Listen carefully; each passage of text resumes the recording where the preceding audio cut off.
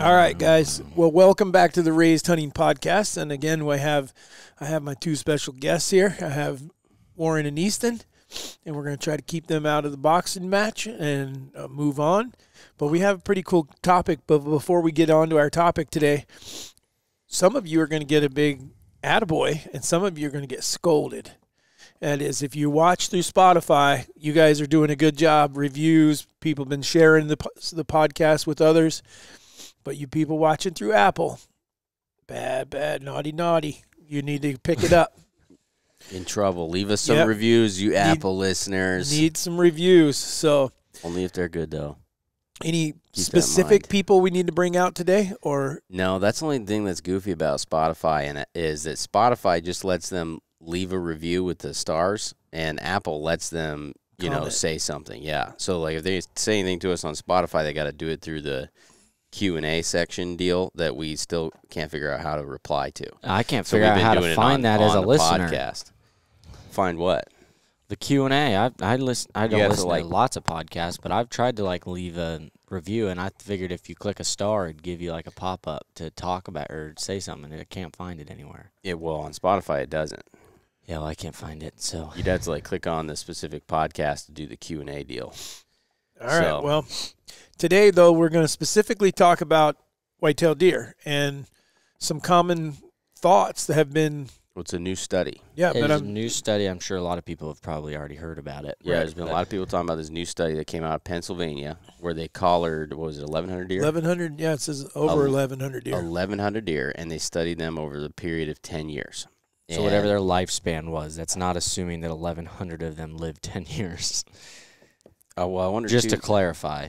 and there and and for just to be really clear here and transparent, there's a lot of information, in my opinion, that they're not very clear on. That's going to be Yeah, that hard for be us to.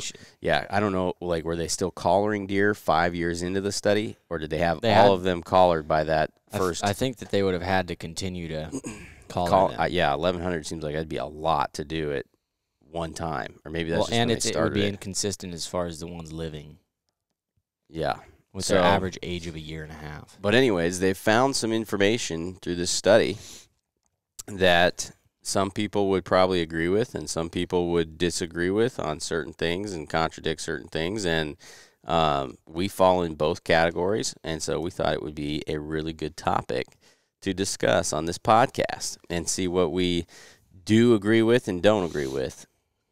Well, number one, there's going to be a lot of people that are going to either be really mad about it or just deny it. And uh, I'm going to find that humor. Oh, now these little turds won't let me read it. See, I told you. It's really good. Well, the very first comment, I mean, the very first topic that they talk about Aw. is deer movement.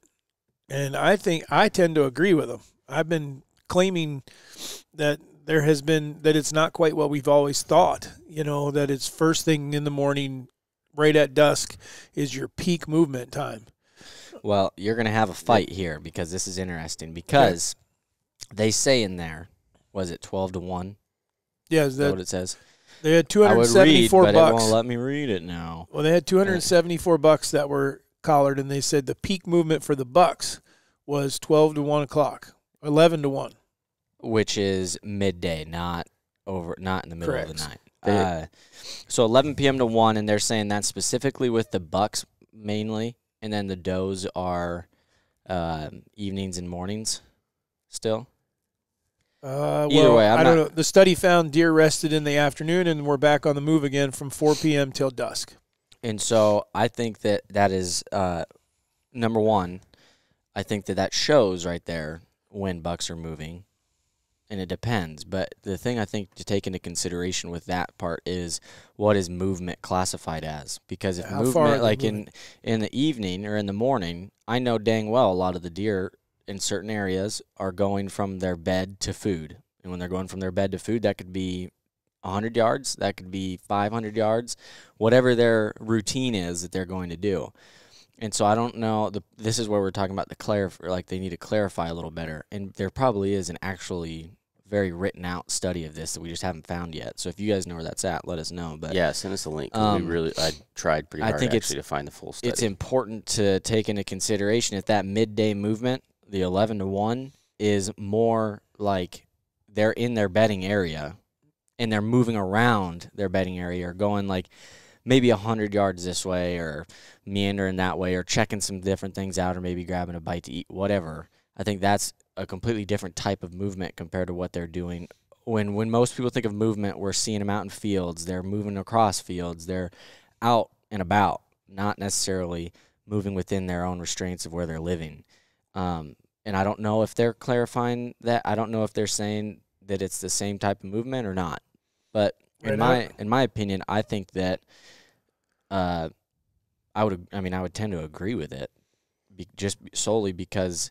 Um, Well, I think there. I agree with what you're saying, though. You have to clarify. So, This- 12, 12 to one o'clock. I don't see a lot of bucks standing around out in the field feeding. no, No, that's You know, that's the other thing is I think that one we we I would like to know when we're all talking about deer movement. I think we're all talking mostly about during hunting season when we're in Yeah, our stands and primarily. we're hunting deer. I That- I re- I think of it. I do think of summertime a lot too. So just because that's the time when I'm driving around looking at them as well, but I'm mainly thinking hunting season or around it. Well, and that's that's really stupid to me that they don't clarify that. Like, is this is this averaged out over the entire year or what? There definitely be some skewed numbers if that's the case. Yeah, well, because this is the one. There's part of this on the movement that I do not agree with whatsoever. Um, I think, it, yeah, according to the Deer Forest study, most deer spent the early hours after dawn in their cozy beds, not moving greatly until 10 a.m. What's more, the peak movement buck was movement for bucks was between noon and 1 p.m. I uh, the noon and 1 p.m. might be true. I do not agree with that they're bedded until, for the most part, from dawn till 10 a.m. Which the other thing I think we do need to consider here is that this study was on Pennsylvania deer, and that's where I'm wondering, you know, is this was that over the whole course of a year, or is that you know October and November? Because Gobbler Knob, if that was the case, one you would never ever get into that stand and then see anything, and two you can sit there and see 25, 30 deer from daylight till frickin' 10:30 that are clearly coming funneling back. feeding. Yes. Well, the other thing, according to that, you'd think that you wouldn't be. uh, We don't hunt at night, obviously, but you would think that you wouldn't get much on nighttime, like for trail camera pictures and stuff. And a lot of guys, a lot of people, will have more at night than they do during the daytime. Granted, that can also be determined whether where you have your camera set up and on their patterns and everything. But with that, how that's going, that would say that they don't move at night, and and that's well, that's just not true. Well, and and the noon to one p.m. That one I and I, the thing I was saying earlier that I think that you could constitute a lot of this would be cell cams, because I can I can tell you for a fact if there's honestly one of the busiest times on my cell cams, it's probably I'd have to go and look for sure, but I and maybe it's just because I wake up in the morning and I have a bunch of pictures, but I feel like it's always the morning is when I get the most pictures on my cell cams. Period. And I don't think that there's anybody out there that would tell you that they get the most cell cam pictures of bucks at 12 to 1. So is that mean when they're saying that those deer peak movement during that time, does that mean that most bucks are getting up and they're and they're going 50 yards and then they're bedding back down until that 4 p.m. window they're talking about? What does that mean as far as movement to me? Because if you're going to tell me that the- a buck is moving two, three The hundred one yards, cell cam I had out last year, I I would that I mean that's one out of I don't know how many cameras I had out, but one camera that was a cell cam that that one would is the opposite of what you're saying right there. Well, I had a lot of on a rub tree out. too. Like on, they were hitting a rub tree anywhere from like ten to two, the middle of the day, and then I would get some middle of the night. But I wouldn't even get does walking by. I wouldn't get. Um, it was all middle of the day every single time, or middle of the night. You had quite a few there in the morning. Not on that one. Not when I moved it. When I when it was back where Elway was always at, then yes, that was mornings and Well, evenings. like think of that morning. You're gonna tell me that that morning that you almost that Joey could have shot Elway, that those deer weren't very clearly funneling back from a food no, source. they were. They weren't bedded. No, I agree with that. But I'm. You said that nobody would tell you that a cell cam is going to be. Well, you have one. I have of my seven or eight that I had out this year. There's not yeah, one. that's that my point. Is that I have one There's no variety of Right. different ones. The fact that one of one is the opposite of yours would say that there's probably some other people that have the same thing. No, that's a very small sample size. So in fact, And it hit be it. Do you understand what I'm saying here? I do. I understand what you're saying, but I guess my I would have better point is- chances of mine being opposite if I had 10 or 15 out, but I had one. No, but you also it have to take to- into consideration where yours was. It doesn't matter. Everybody else could have the same thing. That means that other people could be having their cell cams middle of the No, day. I, I had some in bedding areas as well, and I would cont- I would tell you 100% that I wouldn't even I don't even need to tell you. We could go look, and I would bet you that the the number of buck pictures in the morning or in the afternoon significantly outweighs the ones that were at and, and they were they were later in the morning. Like I would the one I'm thinking of in specific was Magnum. The pictures I'd get of him usually uh, where that camera I'd get on him in his bedding area was not till 8:30 some of them might even been around nine. Well, here here's the thing that you got to take into consideration that you do not do. That there is that's yours. That's everything that you're hunting wherever your cameras are at. That does not mean that it is not a thing five miles away, a mile away, or somewhere else that somebody else is getting completely opposite or completely different types of deer movement. because then, it's not consistent through every single farm. They're all going to be a little different. well, then I would say that this study is useless. It, it you got to take it into relative. It's got to be relative to what your areas I- are. But I'm telling you, like, there's I've parts seen- in that already that relate to me, and you're saying you don't believe at all. And it's not whether you believe it or not; it's whether you, just want to admit you it. or tell not. you tell me that you believe that the peak um, buck movement is between twelve and one. No, I think it depends on where it's at. Because I would tell you right there where where I have a certain spots. Yes, hundred percent. Well, it shouldn't matter it's on Okay, it's at well, hold on. It does. It does depend. But, but if you don't How? if you don't take it so literal, meaning you don't say, okay, this what he's saying is every buck gets up and does this. If you just say, what it does mean is that there is deer up on their feet Midday. twelve midday. Yeah, and whether they're only moving 100 yards or something like that, it's one of those things. Because they talk in here a little bit about rain, they talk about wind and how it affects the deer and things like that. We, I have my own theories on it, and I don't think that they would. I don't think they touch on that. yeah. Um, but I well, guess, I would say that a windy day, you ain't gonna find deer moving at all. and but according But to them, that, it doesn't the most movement, or it doesn't affect. doesn't them. affect them. Yeah. And they say rain doesn't affect them either. And well, that one's one of them is ben, depending on the like does don't care, bucks do or something. I don't remember which one it was.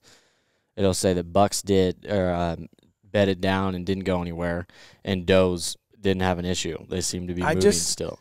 So I guess my my two cents on this is when you see studies like this, you need every piece of information. Was it on public ground? Sounds like it was. That I mean that this was definitely huntable ground because they talk about rifle season and everything. How were they? How was this study? I know that they were collared and things like that, but what kind of pressure was on these deer? You know Yeah. what was going on? That that's also already assuming that we're talking about the same time of year. Because like one of the things it says the study found bucks at the peak of the rut were traveling up to five miles per day. Well, I know for a That's what I fact, was gonna. I, I know for a fact we have a deer that didn't travel five miles per day for two years uh, during the peak of the rut. That's I mean, why doesn't he? But then He you also have a deer that went four and a half. Yeah. Then then so my point is is that there's so many. th- So many things that can make this. I mean, Well, and ju- the deer themselves, their mentality, where they live, from state to state, from county to county, from uh, farm. It's farm to farm farm, to farm. opinion. Yeah, I mean, The other thing you got to take in consideration on that on the the study found bucks at the peak of the rut were traveling up to five miles per day. That does they didn't constitute. Does that mean five miles from where they typically live or call home, Right. or is that just they were doing loops and and Right, like and on a treadmill. Five To me, miles? the went, way up, they- went five miles but never went anywhere. The way they You know? worded that to me, I would take that as they just traveled five miles, not necessarily like a distance from here to here, as Yeah. in they were up and moving. But and I maybe but I have five. witnessed the, the nine, the the deer that I didn't shoot come came to the rub tree. I watched him one day that I figured that deer had to. I think Nick might have been filming when he came up behind us at um at midget.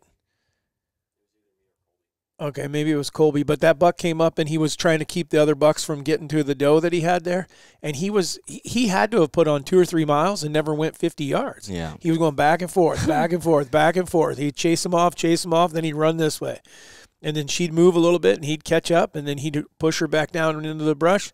So he could have someone logging something at the end of the day. If you had a little tracker thing and you came over and looked at the computer, it says number nine went 6.5 miles. Well, in actuality, he went 50 yards. Yeah. So uh, I'm. I mean, I would take this with a grain of salt. I think honestly, we got to roast Lancaster online on this because they provided some information, but they didn't. They didn't give you a link to the full study or anything um, to where you could actually go and get the rest of this information. Yeah, I haven't been able to find where you can get. I mean, there's More one thing it. on here that clicks in, but it's and it's not any of the none of the pertinent information or the study. So Because Lancaster Online, you guys need to really up step up your reporting because it's not very thorough in here. Well, I mean, because we've talked about this, this would be so cool to be able to do this. Especially, it sounds like they spent a tremendous. They had some. Sounds they had to have had quite a bit of resources behind them to accomplish this. You know, I mean, how cool would it Oh, be to sure. to tag some or to put collars on deer out here and not even be able to kill them? I mean, they're off limits. You know, just to see what they do. I don't. I don't know, but I feel like some of the things that were studied maybe weren't completely clear. Well, I feel like it probably is in the study, you know, but they don't they didn't provide any information to be able to find the full study in here. Right. Because this would be really, really interesting information to look at. The other one, uh, it was in there that uh, they said there was no correlation. Would be uh, your moon phases. They say there that out of all the peak movements and whenever they were seeing the most deer moving, bucks moving, and everything, that um, they never found any correlation between there being a full moon or a red moon or whatever else may be. They, there's much more random than precisely to a moon phase, which would be very interesting to hear a lot of reactions on that one. Well, I mean, and also the Everybody study. knows my opinion on the moon. yeah, I, I don't really have one to be honest. I don't. I just don't like. The only thing that I will say is on full moon. I, for whatever reason, I feel like, and I don't know if it's my my been lucky or whatever, but I've seen a lot of deer, a lot of bucks in midday on full moons, especially when it's cold. And I don't know why. I'm always trying to remember that I feel like the, f- a full moon, I- its daytime movement is awful. Or which one it is. I don't know. I don't remember which one it is. Maybe you ought to start writing that stuff down. I have, and I don't find correlations. Like I, I'll write down. The the number one I want it to be well, here's because the, it'd make it a lot easier. Well, here's the number one that I've seen in multiple states, and it, it is not. I mean, one of the first deer that I ever killed, it was a spike buck, but it it happened the same way as it did just a couple years ago when we moved here to Iowa, and Mom killed a deer, and I can't think of how many times it's happened to me, and that is right after a rainstorm or a heavy front comes through. I mean, immediate as soon as you, if you could be in the stand, like when it, during the rain. during the last five minutes of the rain. Within Yeah. minutes, you see unbelievable deer movement. I would agree with that. We've seen that. But I would also consistently. that also depends on how. I mean, if it just pours for ten minutes, it's not. yeah, that's not gonna. if it's like been raining for a while, especially if you get storms where it's like off and on raining or just raining days on end, the moment that ends, you're gonna be if you can be in there, you're gonna have all sorts of deer all around you probably. I thought this was kind of a funny tidbit. This is an encouraging finding. More than 90% of deer that survive a hunting season will still be out there the following season. I just, Wow. So they don't pack their bags and go somewhere else. yeah, I guess not. I think they're saying that they don't die from natural causes the following year I I know, but I just that seems to me like that or whatever other causes. it doesn't like or- yes, occasionally one seems to get hit by a car or something, but it, it's Occasionally, that is like the biggest industry Okay, in the insurance. but at the same time, it was a ten-year study. You would think, if there is any validity to the seven-year cycle of of um, EHD, which I believe that that is the case, Pennsylvania doesn't deal with it like we do out here in the West. They don't see blue tongue, if you want to call it the by the. yeah. you're gonna have a lot of screen arguers here I that don't will care. tell you that Bring blue it. tongue and EHD is two different things. well, well, they, they- are technically. Technically. Technically, they are But- different, but I guess what I'm referring to is when What is it? it's e- Emphysematic azunic disease. eparad, like- epi, epis, Emph- it's episodic EMPH hemorrhagic something. disease. yeah. There you go. Okay, and so what it is, it's a midge. It's a small gnat that the they inhale when they're trying to get a drink. They live in the mud, and it has to be. And That's an interesting point. I thought Because that if it that was was during that bit. ten year study that you're talking about, and you had a, I don't know, we don't know if we can put much weight on the seven year window yet, but let's just say that that's the case. That every seven years you get EHD. That that could possibly completely fudge that ninety percent number, because uh, That's- sometimes you're, you're losing. I, s- we've heard here 50%, before, right when we moved here, yeah, 60, 70, 80 percent of their deer died. okay, let me clarify because those midges bit, not not swallowed. They inhale them, but either one. even so- if they bite them. I think even if it could because uh, and and I've I did a bunch of studying on this a few years ago because the seven year cycle that we're dealing with here was 2012, 2019, and that would mean that our next cycle would be 2026. 2019 was kind of Wasn't so bad, and that's because For us though, it was for like the county over. yes, Yeah, but that's my point. Is that it was it was localized. It wasn't Yeah. a, it wasn't the whole state. Okay, so but but the theory is that that is when the hatch is the the biggest, sort of like a locust. They come, you know, that's when they're all there. Yeah, If the weather pattern makes it where matches up with it. where it's either so super dry and there's not a lot of places for the midges to live, or the exact opposite, super wet. There's not a lot of places for the midges to live. Then you don't have a really bad EHD scenario. Breakout. And so what ends up happening is you get by and then you're good for the next seven years, hopefully. I would tell you, I've been watching this one now very, very closely, and so far we're good. We've seen 2020, 21, 22, now we're going into 23, and we have not seen much of an EHD breakout around. We see some, you're always going to have a little bit What? uh Two things. One, isn't there somewhere where they say that they're now immune to it? Down the south. south. Because they get it because it's it's prevalent all the, All the time. time. So those deer build up an immunity to it. Where in the Midwest, we, they don't build up an immunity because they're only seeing it every so often. which because before the theory was it was dry years was going to cause EHD, right? Correct. Which I think we could uh, say everybody would probably agree that's pretty well debunked because we've had several dry years in a row now. For sure. That's considered drought for where we're for Iowa. Now, but that could mean that it's too dry. And so there's not a lot of places for the midges to live. because where the midges live for the most part is in like your Silt. so Mud. like muddy water Mhm. basically so that's where the other theory came in that somebody else told you or i remember we were talking to somebody and, I, and that one made quite a bit of sense to me they said that sometimes your really wet years can be worse because there's standing water in your bean fields and and more Places more for the places for, them to to, be exposed to it Correct. Yep. So um so that's a really interesting thing that that honestly is what we're we're stating here is that this all is going to come down to is it for PA guys it's probably pretty helpful information for everywhere else I don't know that this is going to be that relevant to to your area I think it has potential to be relevant depending on if they could give us some more ins- insight or some more understanding of times of year and The- times like the moon I would think ton. could be applicable to all around. deer everywhere because that's that would be a constant. But other than that, everything else pretty much is different. So this is an interesting thing. Um, the movement of GPS collar deer found 43% change their movements because of hunting pressure. And in most cases, they altered their patterns the day before the season opener. They didn't shift their home range, but they moved around less. Also, they exhibited an uncanny ability to hide somewhere in their home range during hunting hours. So that's another one that we were talking about earlier would be really interesting to know is their definition of opening day is that archery season? Is that rifle season? What it, what would constitute opening day? 43%, that's a big that's a big number. Well, I mean, but now that that reads a little bit different now that I've read it the third time because it says 43% change their movements because of hunting pressure. Which that makes sense and they're getting pressure, and they're the going to move. The majority was the day before.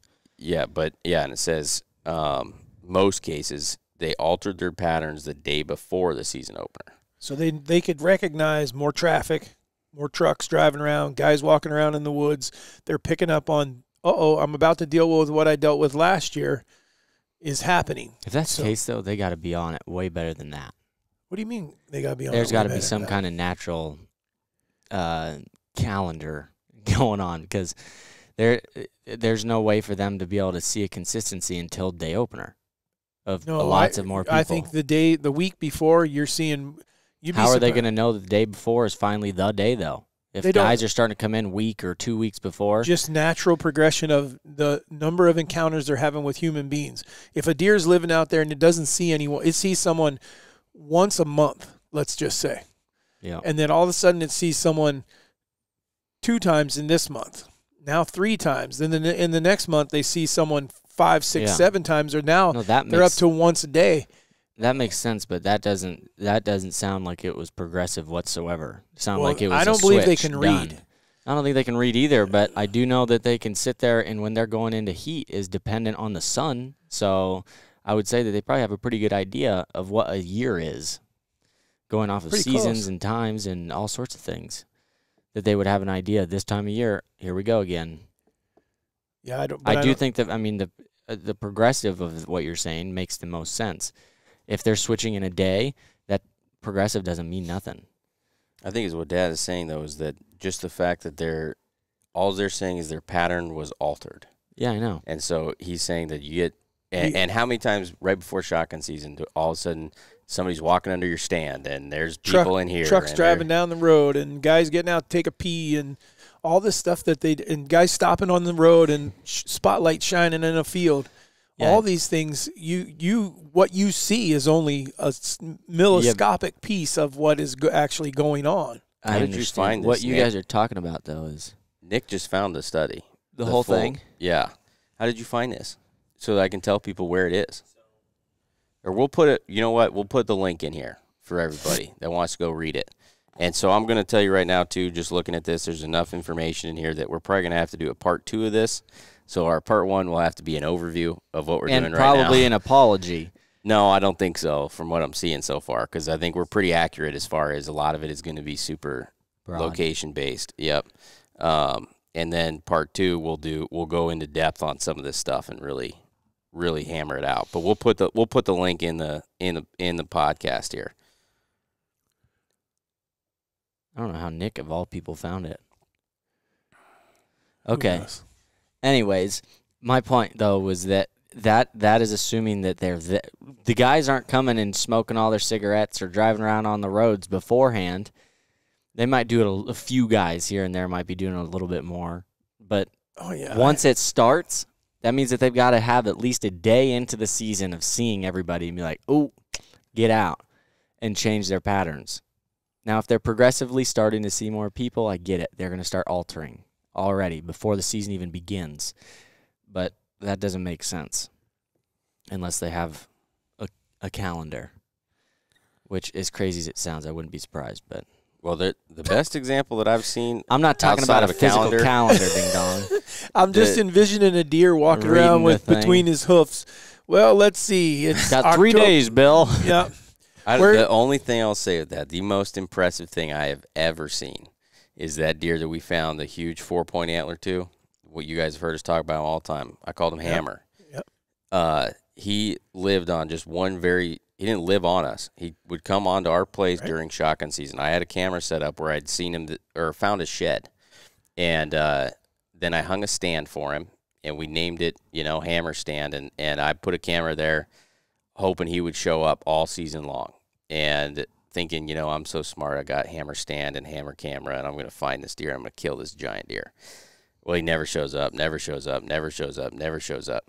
November, November 29th or November 30th. I get it. I, well, I pulled the camera a few days later um, during shotgun season. But is what happened is he showed up for the very first time. I think it was November 29th or November 30th. It was one of the two. And then there was five days in a row, five days in a row that that deer was on that camera going crossing the this fence in the same exact place one hour after dark and he was within three minutes of himself every single time. So that deer was not there i don't believe. I don't think that he was there the whole time and i was just missing him on my camera. I think that he No, knew wasn't shotgun there. season was coming and he moved into he didn't but that would say that he didn't know exactly when it was starting. He just knew hey it's getting close to that time and he moved onto us and then the fact to me that was so crazy was that it was you know, the one night it was 607. The next night it was 604. The next night it was 605. Like that he was so consistent on when he would show up and he'd wait an hour What made you think that you were going to get a chance at him before shotgun season? because we hadn't paid any attention to that spot where we found his antler. We hadn't paid any attention Yeah, to I that. know, but so I thought that, that he was coming through in that area. uh-uh. No, this was You're before saying you found it there and then you went in this was the and then first you had your camera afterwards. when yeah, when we found his shed, we were totally surprised because we didn't one Oh, and so I thought you were saying you already knew that he was going to be going across there. uh I was like, well, you already know that you're going to be pushing it. You're going to have like a day time frame there to be able to make it happen. no. So just so people understand what Warren's referring to is our shotgun season starts first week of December. So he had figured out that what what he, I think you're saying is he hadn't figured out when it started. he didn't know it was December 5th. He knew it's getting ready to start. Some things have started to change, whether it's the weather, whether it was people starting to come in and put up stands and make whatever, but something triggered him to say, okay, it's time to go to this pattern that puts me in a safe place. Because for the last couple of years, he had been in a place we didn't find him. We did, actually found him on a different camera. Well, that was first. the thing though too is um, we had a camera that was few hundred yards away from it, and it was a really strong, really really good funnel. Where if he was going that far up, we should have been getting a picture of it. Right. And so, is what that was telling me is that that deer was staying in, you know, probably a 300 yard area or less. That meant that he was not, he was not 30 minutes away from that camera. I was getting pictures of him. He was probably within 200 Five yards or less. It's Yeah. also assuming though that you're not missing him anywhere. Yeah, true. But, But that's what I'm saying. Is that pinch idea. point was a pretty good pinch point where, and we had pictures of him there before. So I Yep. think if he was going that far up, he, we probably would have got a picture. And so my theory is that that deer, he wasn't even getting up. Like you, your chance of killing him would have been almost impossible because where he was, you couldn't have got in there without him seeing you, hearing you. Like it would have been impossible to get in on him. And then two, he wasn't getting up until dark or even 20, 30 minutes after dark. And then he was moving. He was a smart deer. Yeah. Really smart. That's why he lived as long as he did. Yeah. The gentleman that finally Well, there's killed him. others that are stupid, but that one was smart. He was a smart deer. Okay, this I think is interesting because I've oh, I keep saying this, and now now like there's actually some scientific proof to what I've been saying, although I would not have guessed this. So it says, you know, bucks have a core area of about one square mile. What? You're just picking and choosing what you believe from this Right. study. You've been debunking it the whole time. Now you're saying it's the right thing. No, I'm just going in order. The study What? also found. I'm going by like paragraph. All right. The study also found deer use physical features on the landscape to mark the boundaries of their home range. Things like streams, roads, pipelines, and power lines. Hunters have the best chance of seeing a deer by setting up somewhere in the middle of their home range rather, rather than these boundary fe- features. That's At what point to of that me. have you ever said a word about any of that? you ask all our podcast listeners. That's what I say all the time: is that these deer have these zones Yeah, they have where they zones. they hit the. No, that's what I've said. Is that you can constitute this? I've said heard you they- say the zones. They'll hit a certain spot, and for whatever reason, they will not cross that spot. They will not go across it, no matter what. And now there's what they're saying is it's a physical. There's something They physical recognize. feature they recognize that they say, okay, that's beyond my home, ar- my core area. And that to me is crazy that they would be so like your roads. Maybe that. So rivers, I would think, really would be a lot more of a boundary than you might think. Yeah, unless unless, Unless that's not that part of the home- yeah, the core area, I guess. core area. We'll have to look at the long version, see if they had one that was near a river or something. That he was crossing it all the time. And I don't think that they're saying that. I can think of one in particular, and that was Juice. And Juice ten, tended not to cross the road west of my house. But I do do think that there was one or two times I got a picture of him over there. You know, so he probably went over there more than once, but it wasn't common. It wasn't like east side of the farm where he was there all the time. Yep. I think you could take a pretty big note out of all of this, and that being that even with a ten year study, where you're gonna, The- do, it's a freaking wild animal. There's nothing gonna- foolproof. Yes, you're not. You're not going to be able to nail these things down to a T. I thought that that was going to give me a lot more insight on things that I could be using, and I don't think it's benefited me whatsoever yet. Like nothing that I have learned or seen that I'm like, oh, ding, that'll help me kill a big deer this year. Well, that's what I'm, I mean. just last year we had deer that were. I mean, so when they talk core area, we had deer that had huge core areas. We had deer that had small core areas. We had deer that crossed over core areas. From one, we have a deer that showed up in never seen him before, and he moved in and stayed. Yeah. We have another deer that showed up that ran everyone off. So I mean, it's just so there's so many things that go into that come into play. I don't know how they can determine that either, though. That they can use physical features. I I get zones, get Well, it, hundred percent. Well, I would have. Met, I'm just envisioning that what they're doing is they're plotting this with because they got a Like collar where they're turning around, and they're seeing a river, let's say, and you got a deer that goes over and like this, and he moves around and he comes back, and then he comes over and he goes back, and he comes over and he goes back, and one time out of 365 days or four year period, he crossed the river four times. You know, Yeah. and that was it. That that would say that that deer recognized that river was a was a line that he didn't cross. I, I could see where they could make that statement, especially over a ten. If if you had a deer that lived four or five years Yeah, within that ten year more. Well, and who knows? Maybe it's just maybe to us it's a physical feature, but maybe it's an instinctive thing to the deer. You know, I feel like that it's would- just like You this is as they far just as I know go. that? Yeah, Hmm. A, a highway is another one that I would think that would serve a road, uh, especially a busy road. Well, because like the one I would tell you is a great example is Toro.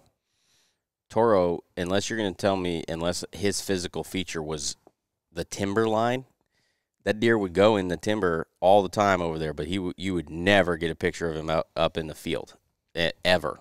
Yeah. And it, like for four years he did that, and I don't know why. Unless for him, I guess it was like I don't go any further um, east of this timber. I don't Hmm. know. Like that was like that's my physical. That was his physical feature. I won't go cro- past this timber because that deer wouldn't do it. I don't know why. Would you'd think for sure that you'd get a picture of him out in that field?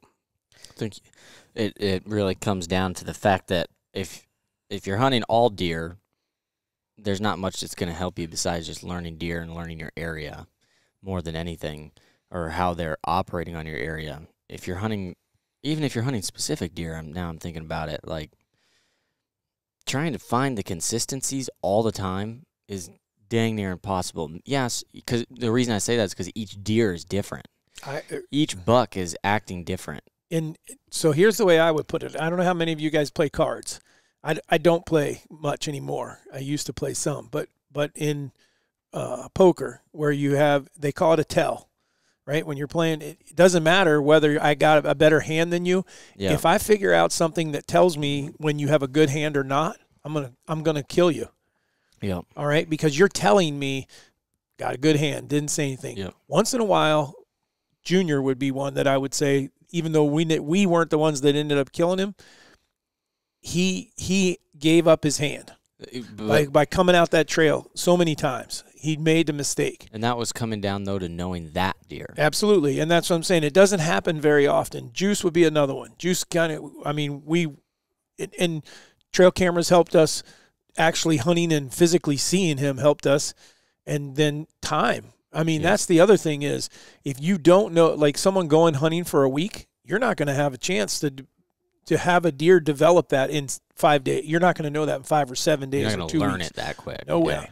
So you're relying on whoever it is that you're going to hunt with, whether it's an outfitter or whether if you're leasing a piece of ground and you go out there, maybe you watch something this year that you apply to next year. That I as weird as it sounds, the biggest things that helped me have been year to year. Yep. Looking back on them, because even we just found one the other day that we I thought that I mean I thought I was I'm right with part of it or partially right, and then I was way wrong on the other part because I have a certain spot that I know that around like there's like a two week period where I'm gonna have some new buck cruising through, and it's not gonna be a little deer. Like it's gonna be a pretty pretty good sized deer, if not a freaking big deer, because I consistently for years now, it's one of the two weeks that I'll have that happen.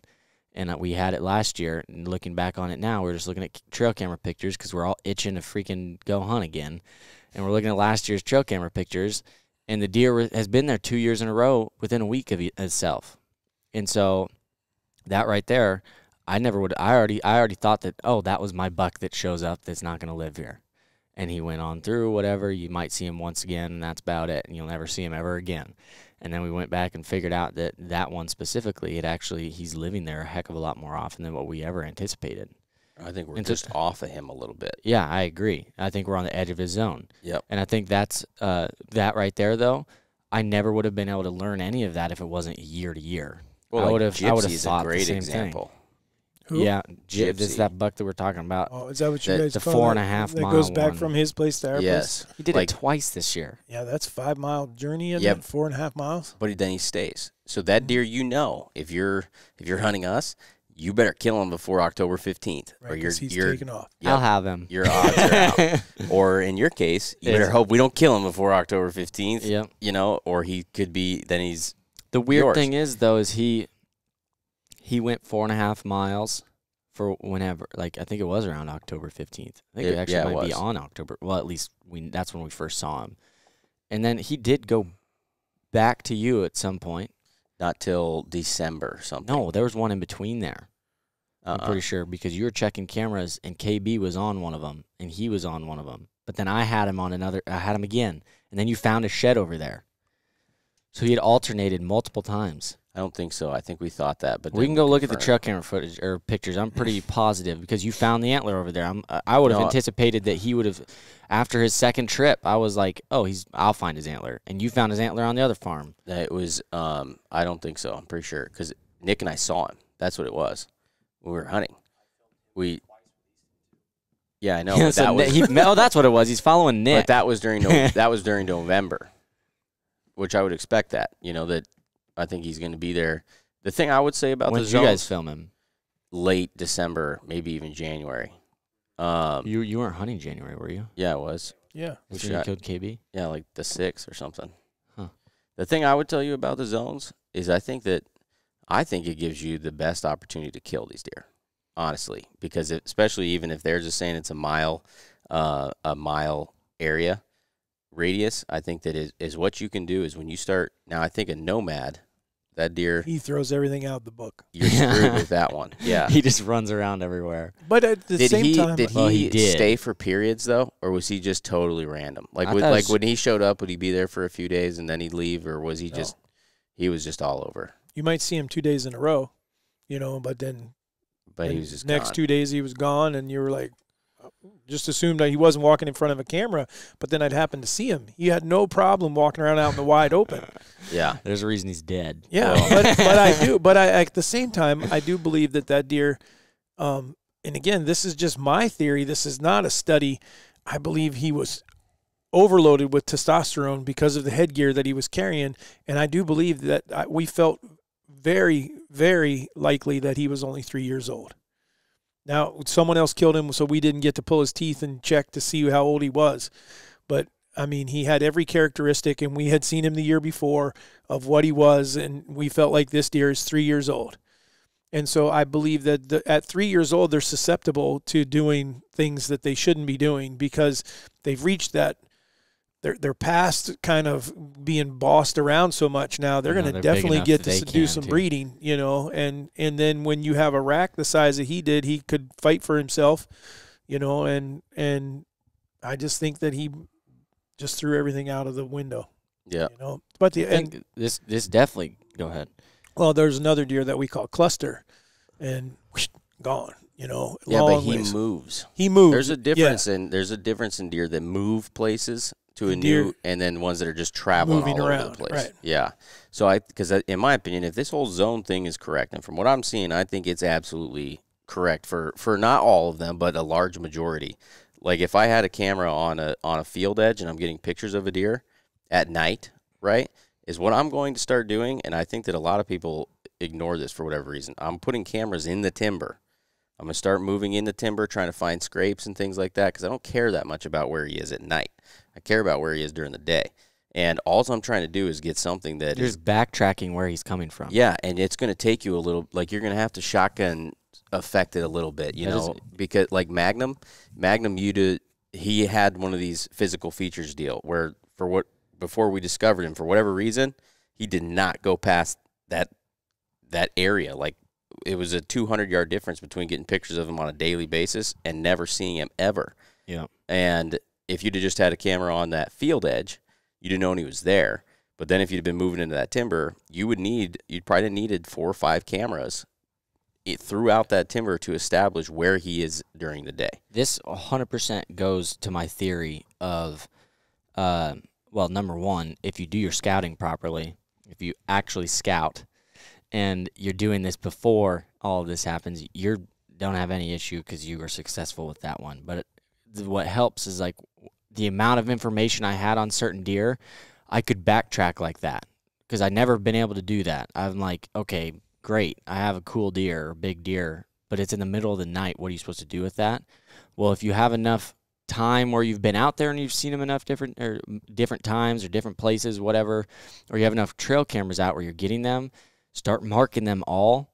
And because then what I started doing was I found them, I found like loops and stuff where I could literally look and say, okay, I've got a pretty good idea that okay, he's got to be bedding over here because he's over here this time, and at night he's over here, and so you can backtrack him a heck of a lot easier. And then again, too, that's where I discovered patterns in the rut that are a thing. That I 100%. I'll have a lot of people telling me I'm nutcase for that, but I will 100%. Not all of them are going to do it, but there is certain deer that I had last year that I would have on a three day pattern. I would know during the rut that they're doing their thing, and unless they somehow get distracted with the doe where they're kind of staying in a small area, I'll give him three days and he'll be back to that same spot checking in, and he would do it consistently. This is where I would disagree with you on the scouting thing, though. Like Magnum, it wouldn't have mattered because he wasn't doing there something yet. different. He's Uh, yeah, yeah. A lot of these they're not doing the same. They're not doing what they're going to do from October to end of November until they shed that velvet. You know, they're just a different thing. Like I didn't get the first picture of them until October second, and See, I had I- cameras out there. I had through a couple deer that did and didn't. The majority could be do some. not. The majority, once they shed their velvet, at least for us, it seems to be shed their velvet. You might find another pattern between then and hunting season, but it's not. It's pretty short lived. It's going to vary a little. Yeah. Yeah. And Shed their velvet and find my rub tree. Mm-hmm. Yeah, Game over.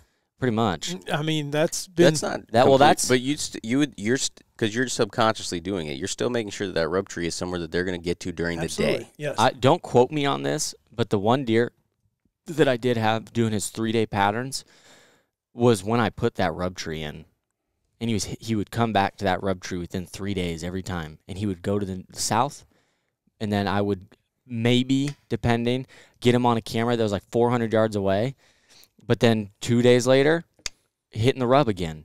Like almost to the same time, and I, I maybe it was just coincidence that that's when I put the rub tree in that he started doing that, but that one was very that That that's the only been reason. Ran Or- out of or- does, and that was became part of his circuit. While yeah, I he was gonna say, or that's another. That was just something that he wanted to make sure he checked in on was Which- that rub post because he was a big of- deer. so put the rub tree in. Make sure you're hunting the wind.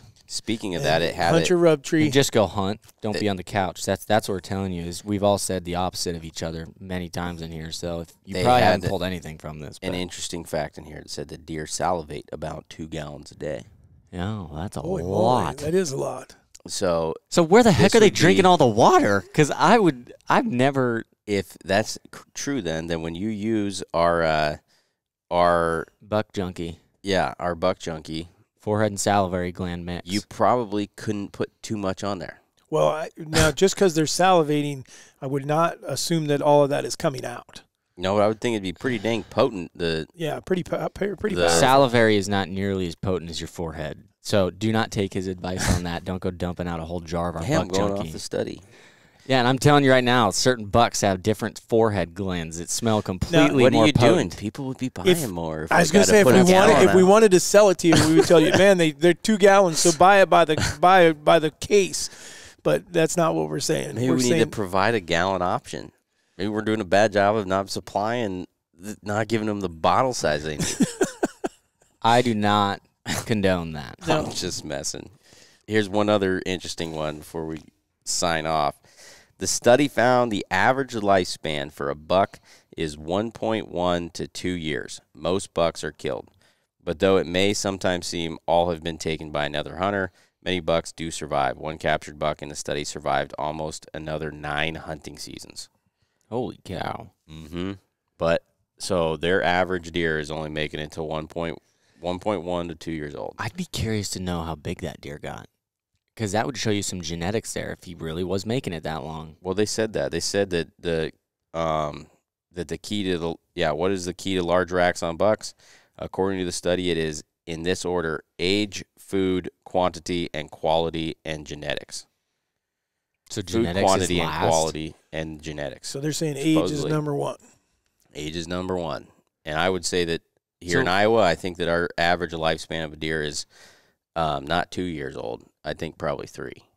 Yeah, I But- think so. I'm just trying to figure out if you put age at the forefront. That's saying the longer they live, the bigger they'll get.